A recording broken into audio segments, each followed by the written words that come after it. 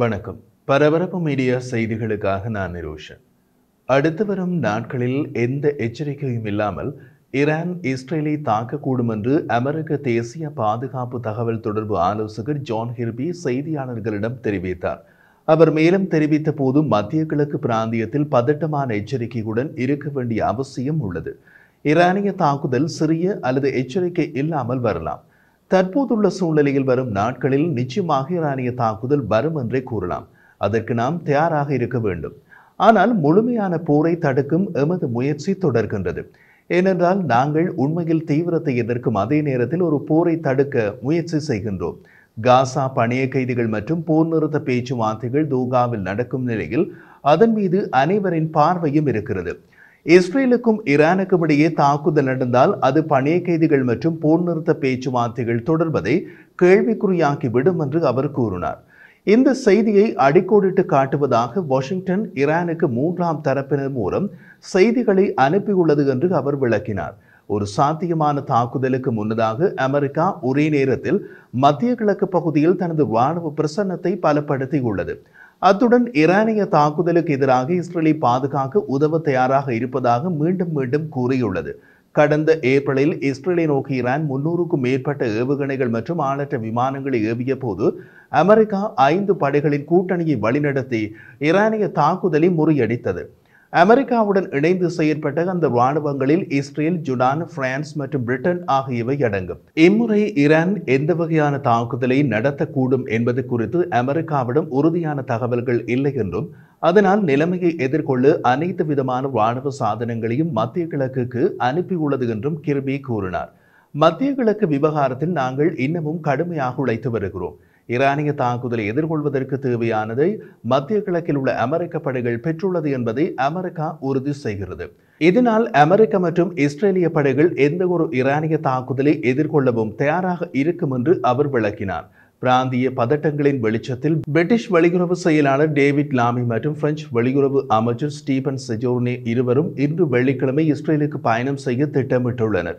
காசா பணைய கைதிகள் மற்றும் போர் நிறுத்த ஒப்பந்தத்தை இறுதி செய்வது ஈரானிய மற்றும் ஹெஸ்போல்லாவின் பழிவாங்கும் தாக்குதல்களை தடுக்கும் என்று அமெரிக்கா நம்புகிறது. பெய்ரூட்டில் உள்ள ஹெஸ்போல்லாவின் தளபதி ஃபுவாட் ஷூக்ரின் படுகொலை முதலிலும் இரண்டாவதாக ஹமாஸின் தலைவர் இஸ்மாயில் ஹனியின் படுகொலைகளுக்கு பதிலடி கொடுப்பதாக ஈரானும் ஹெஸ்போல்லாவும் சபதம் செய்துள்ளன. அதனால் காசா பணிய கைதிகள் மற்றும் போர் நிறுத்த ஒப்பந்தத்தை இறுதி செய்வது ஈரானிய மற்றும் ஹெஸ்புல்லாவின் பதிலடி தாக்குதல்களை தடுக்கும் என்ற அமெரிக்காவின் கூற்று நூறு சதவீதம் பலிக்கும் என்று கூற முடியாது. ரெய்ச்மென் பல்கலைக்கழகத்தின் ஈரானிய நிபுணர் மெயின் ஜவேடான்ஃபர் ஈரான் ஒரு கடினமான நிலையில் உள்ளது என்றார். அவர் மேலும் கூறிய போது ஏனெனில் ஈரானியர்கள் தாக்கினால் இஸ்ரேலின் பதிலடியை அவர்கள் பார்க்க வேண்டும். அது மிகவும் கடினமான பதிலடியாகவும் இருக்கும்.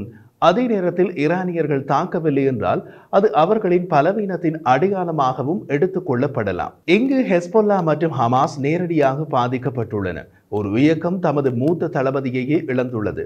மற்ற இயக்கமோ அதன் தலைவரையே இழந்துள்ளது.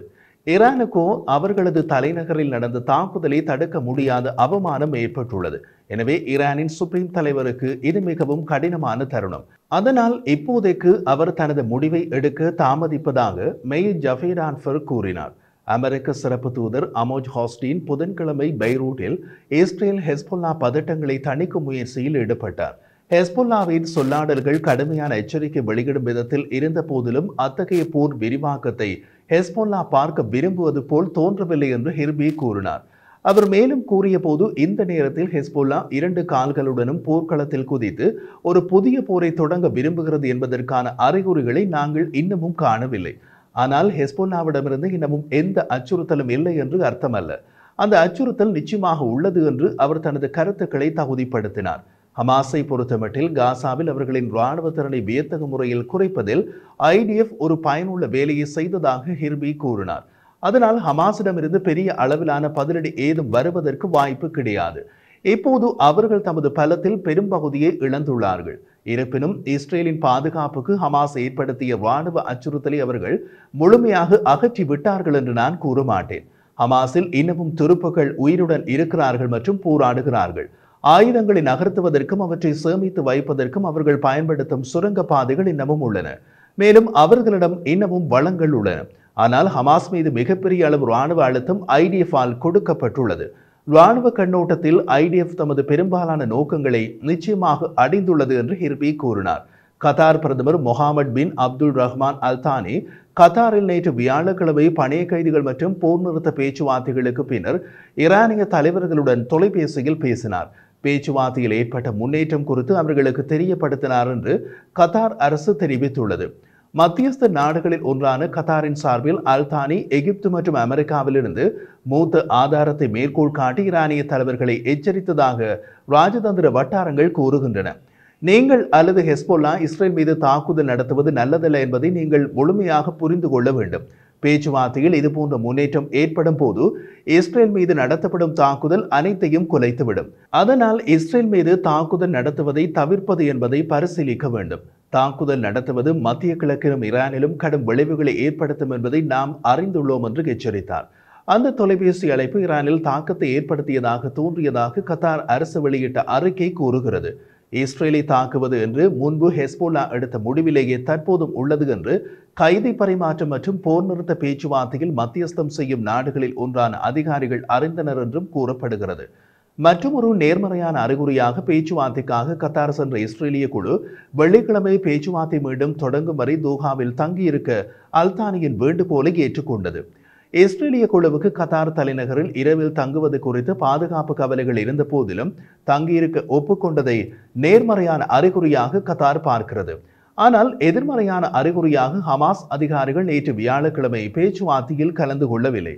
அமெரிக்கா மற்றும் சர்வதேச ஆதரவை பெற்று ஹமாஸ் கொள்கை அளவில் ஒப்புக்கொண்ட முந்தைய திட்டத்தில் இஸ்ரேல் புதிய நிபந்தனைகளை சேர்த்ததாக ஹமாஸ் குற்றம் சாட்டி பேச்சுவார்த்தையில் கலந்து கொள்ளவில்லை.